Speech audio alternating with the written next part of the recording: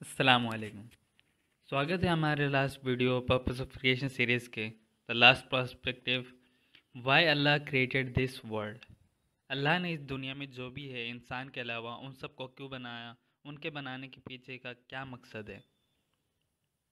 कुरान के chapter fourteen verse thirty two और thirty three में अल्लाह फरमाते हैं, वो अल्लाह ही है जिसने आकाशों और धरती की सृष्टि की और आकाश से पानी उतारा।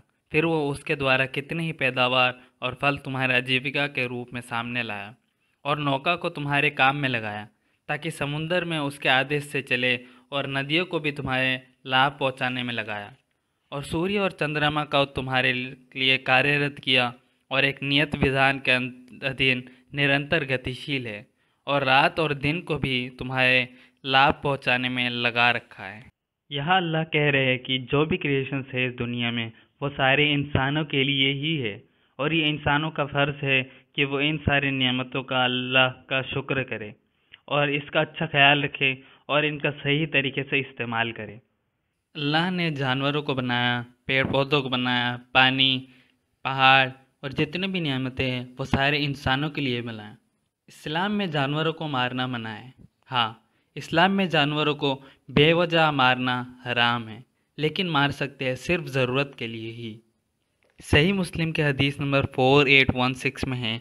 सईद इबन जैद बताते हैं कि इब्न उमर रज़ी अल्लाह तु एक बार कहीं से गुज़र रहे थे तो उन्होंने कुछ कुरेश ख़ानदान के लड़कों को एक पक्षी को बांधकर निशानेबाजी का खेल खेलते हुए दिखा।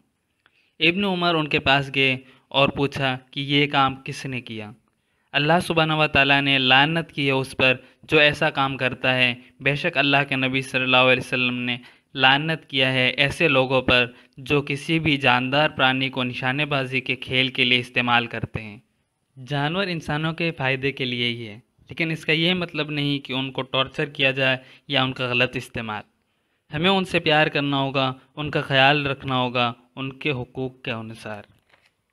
और इस बात को सपोर्ट करते हुए बहुत सारी हदीसें भी मौजूद हैं। बुखारी के हदीस number two, three, six, three में है कि एक शख्स एक प्यासे कुत्ते को पानी पिलाते हैं तो उसके लिए अल्लाह जन्नत का फ़ैसला कर देते हैं। इसी तरह बुखारी के हदीस number three three, two, one में है कि एक प्रोस्टिट्यूट एक प्यासे कुत्ते को अपने चमड़ी के मोजे की मदद से एक कुएँ से पानी निकाल कर पिलाती है तो अल्लाह उसके गुनाहों को माफ़ कर देते हैं और उसके लिए जन्नत का फ़ैसला कर दिया।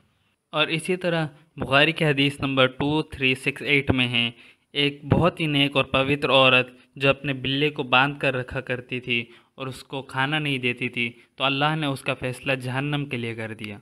क्योंकि एक तो वह बिल्ली को खाना नहीं देती थी और उसको छोड़ती भी नहीं थी कि वो ख़ुद अपने खाने का इंतज़ाम करे। इसी तरह पेड़ और फ़सलों के बारे में भी आता है कि उनका इस्तेमाल सिर्फ़ ज़रूरत में ही करे, फालतू बेवजह बर्बाद ना करें। जंग के वक्त भी मोहम्मद सल्लल्लाहु अलैहि वसल्लम हुक्म दिया करते थे पेड़ों को मत काटो और फ़सलों को मत जलाओ, क्योंकि ये सारे अल्लाह के ही मखलूक हैं।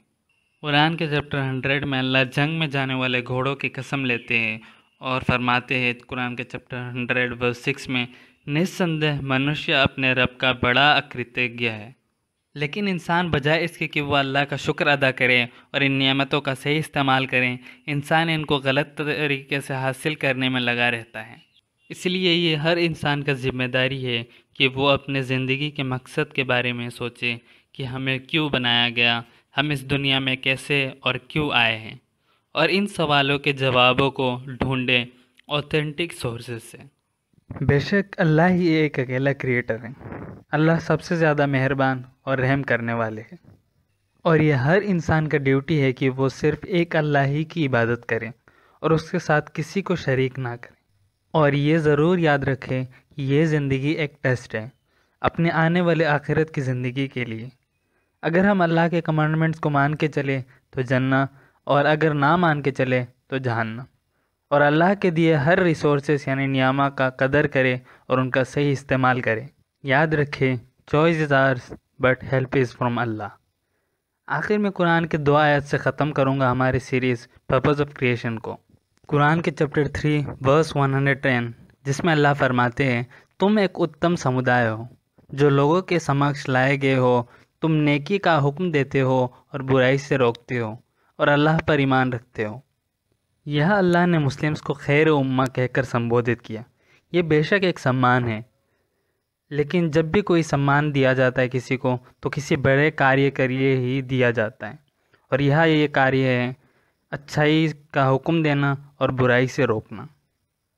मुस्लिम्स को एक स्पेशल रिस्पॉन्सिबिलिटी दी गई। है यह हर मुस्लिम का ज़िम्मेदारी है कि वो जो भी नेक और सही जानता है, वो उस हक की बात को दूसरों तक ज़रूर पहुँचाएँ।